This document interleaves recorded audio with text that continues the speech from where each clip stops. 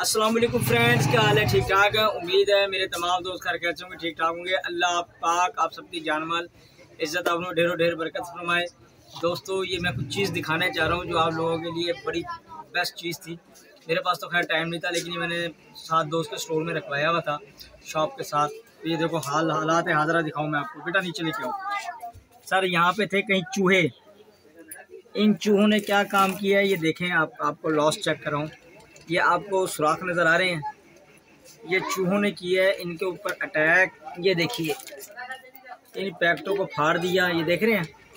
ये पैकेट फटा हुआ, यहाँ से पैकेट फटा हुआ, ये फटा हुआ पैकेट। ये बीच में सारा ख़राब हो गया। अभी मैं सारा ख़राब साइड पे निकाल ये देखें। ये देखें, ये फटा हुआ। ये सारा ख़राब हो गया। चूहों ने भी कहा होगा, लो ये देखें जी दोस्तों। ये फटा हुआ, ये सारा। ये नहीं ये फटा हुआ। ये फटा हुआ। देखते हैं दोस्तों। ये फटा हुआ। ये कुछ साबुत है। देखना पड़ेगा। बहुत बुरा हाल कर गए भाई। ये ओके है। यानी कि उन्होंने भरपूर तरीके से जनाब दावत की है। आप दोस्तों को मैं क्या बताऊँ? कि सुझा के रख दिया उन्होंने माल सारा। नशर नशर कर दिया दोस्तों।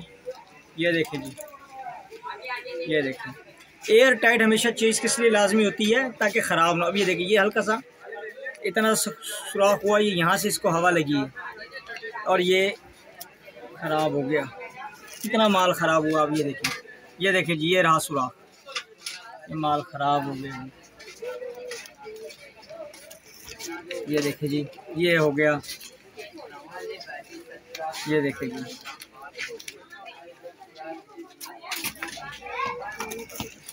ये देखें दोस्तों। ये ले।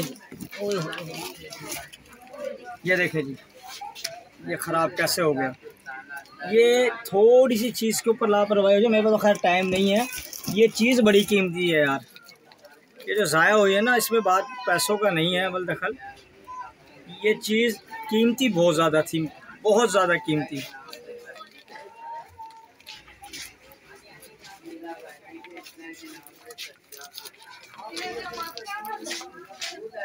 बहुत ज़्यादा कीमती चीज़ थी जो ख़राब हुई है ये।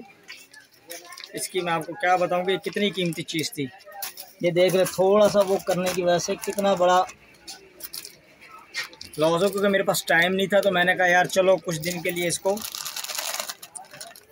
यहीं रख देता हूँ स्टोर के अंदर। मुझे क्या पता था? मैंने सोचा था कि ईद के बाद इसको निकालेंगे। ये नहीं पता था कि चूहे जो हैं, वो पागल हो जाएँगे। ठीक है दोस्तों, अपनी दुआ में याद रखिएगा। बहुत शुक्रिया, अल्लाह हाफिज़।